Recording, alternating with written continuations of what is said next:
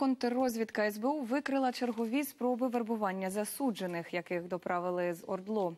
Відбувати покарання в українських в'язницях. Керівництво тюрем на окупованій території погоджувалося віддати лише тих, хто підписував зобов'язання про співпрацю.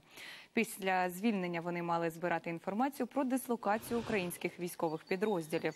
Щоб змусити в'язнів до протиправної діяльності, бойовики знущалися з них, особливо жорстоко із тих, хто мав проукраїнську позицію.